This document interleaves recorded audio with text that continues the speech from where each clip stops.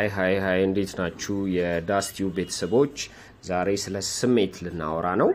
ስሜታችንን እንዴት manage ማድረግ አለብን የሚለውን ነገር ልናወራ ነው። ጽሁፉን የጻፈችው ሰላማዊት ሙሲሳ ነች። የምተርክላችሁ ስንታየው ታዬ ነኝ። መልካም ጊዜ። አሪፍ ስሜት የምትፈጥር ጽሁፍ ነች። ተከታተሏት። ሁለት አይጦች በአንድ ክሬም በተያያዘ ሳህን ውስጥ ወደቁ። ሁለቱም እንዳይሰምጡ ለመውጣት ተፍጨረጨሩ፣ ግን በቀላሉ ሊወጡ አልቻሉም። አንዱ አይጥ ተስፋ ቆረጠና ሰምጦ ሞተ። ሌላኛው ግን በውስጡ ተስፋ ሳይቆርጥ በክሬም ውስጥ ከመፍጨርጨሩ የተነሳ ክሬሙን ንጦ ወደ ቅቤነት ቀየረው፣ ህይወቱን አተረፈ። ይህን ምሳሌ ያነሳሁት ምክንያት ያለ ምክንያት አይደለም። ክሬሙን እንደ የሰው ልጅ አእምሮ ውስጥ እንደ ማዕበል ከግራ ወደ ቀኝ ከቀኝ ወደ ግራ የሚያዋዥቁት ሀሳቦች ጋር ይመሳሰላሉ። የሚመጡብን ሀሳቦች በላይ ካለፈው ታሪካችን ከሚመጡብን ሀሳቦች በላይ ባለፈው ታሪካችን ውስጥ ልክ እንደ ማነቆ የያዙን ሀሳቦች ይበልጣሉ። ሀሳብ ስሜትን ይወልዳል። ስሜት ሰዎች ካሉበት ሁኔታ፣ ካሳለፉት መልካም ያልሆኑ ክስተቶች፣ ፍቺ፣ ሞት፣ መልካም ያልነበሩ ጾታዊ ግንኙነቶች፣ እነዚህና የመሳሰሉትን ያካትታል። ከእነዚህ ክስተቶች የተነሳ ስሜት የሚባለው መደሰትን፣ መከፋት፣ መደነቅ፣ መውደድ፣ መጥላት፣ መፍራት፣ ማፈር፣ መናደድ፣ መቆጨት መጨከን፣ መራራት፣ መጠራጠር እና ማንኛውም ሰው በየጊዜው በየሁኔታው የሚሰማው አእምሮዊ ሁኔታ ነው። ስሜት ከስር መሰረቱ በአግባብ ባለው ሁኔታ ካልተገራና እየተቀረፈ ካልሄደ አእምሮ መረበሽና መታወክን ያስከትላል። እያንዳንዱ በእነዚህ ውስጥ የምናስተናግዳቸው ሀሳቦች የራሳቸው የሆነ የስሜት መገለጫ አሏቸው። እነዚህ መልካም ያልሆኑ ስሜቶች የተወጠረ አእምሮን ወደ አልተፈለገ አዘቅት ውስጥ እንዳይከተን እንዴት ነው ችግሩን መፍታት ያለብን? ጠዋት ከእንቅልፋችን ስንነሳ የተለመዱ ነገሮችን ነው የምናደርገው። እንነሳለን፣ መታጠቢያ ቤት እንገባለን፣ ጥርሳችንን እንቦርሻለን፣ ልብሳችንን እንለብሳለን፣ ቁርሳችንን እንበላለን፣ ወደ ስራ እንሄዳለን። በመስሪያ ቤታችን የተለመደ ስራችንን ከተለመዱ ሰዎች ጋር እንሰራለን። የመሳሰሉ ድግግሞች በህይወት ውስጥ መሰላቸትን ይፈጥራል። በምናስበው ነገር ነው ስሜታችን የሚቀያየሩት። ስለዚህ ቀኖቻችን በምንድን ነው የምንጀምረው ብለን ራሳችንን መፈተሽ አለብን። ባለፈ ነገሮች በመቆጨት በመሰላቸት፣ ተስፋ በመቁረጥና በመሳሰሉት ነው የምንጀምረው ወይስ በደስታ በመልካም ነገሮች በማቀድ እነዚህን ጀማሪ የምንጀምረው ወይስ በደስታ በመልካም ነገሮች በማቀድ እነዚህ ጅማሬዎች ናቸው የወደፊት መንገዶቻችንን የሚወስኑት። እነዚህ ሀሳቦች የወደፊት እጣፋንታችን ጋር ግንኙነት አላቸው ብለን ካመንን ስሜቶቻችን በላይ ሆነን ማሰብ አለብን። ምክንያቱም ስሜቶቻችን የሀሳቦቻችን ድምሮች ናቸውና።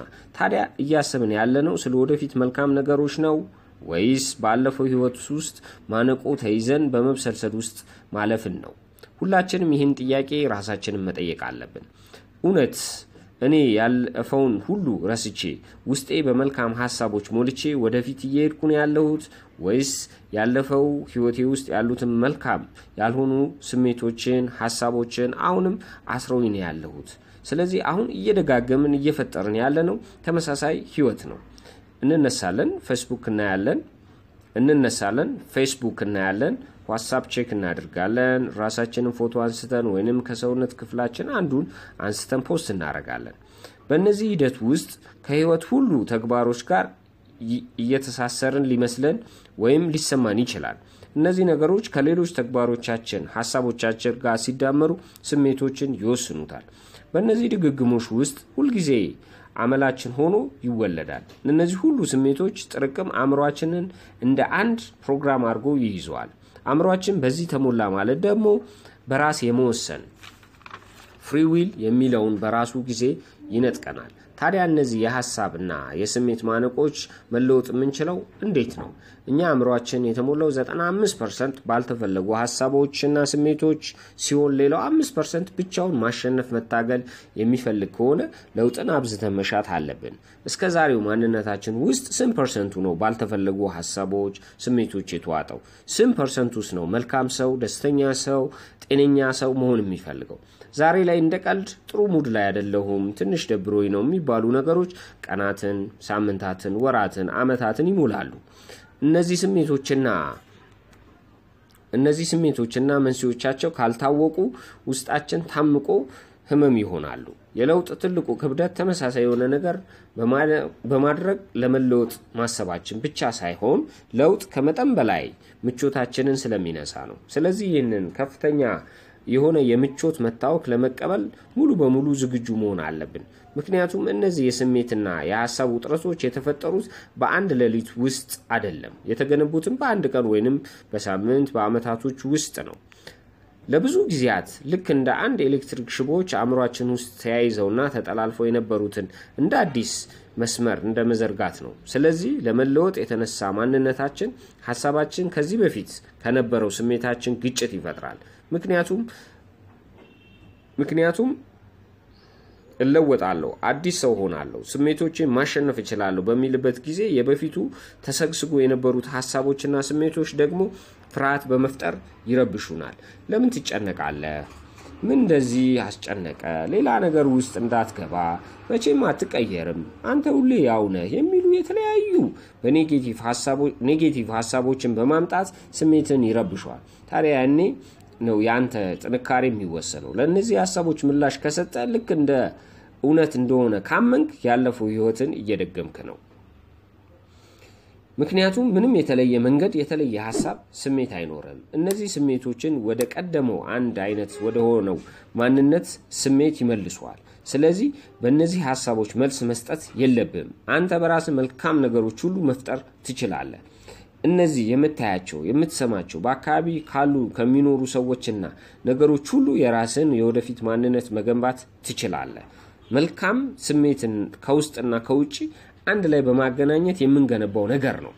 መልካም ስሜት ከውስጥና ከውጭ አንድ ላይ በማገናኘት የምንገነባው ነገር ነው። ከሰዎች በመማር የራሳችንን መልካም ነገር በማጎልበት መጥፎ ጎናችንን በመዋጋት ሁሉንም ማሸነፍ እንችላለን። የተሰራ ልብ የተሰበረ ልብ የጤናማ ስሜት መገለጫ አይደለም። በዚህ ውስጥ በዚህ ውስብስብ የህይወት ዘመን ችግር አይታጣም። የሚገጥሙን ሐዘን፣ ሰቆቃ እጃችንን መስጠት የለብንም። ሁሉንም በብቃት መዋጋት ማሸነፍ አለብን።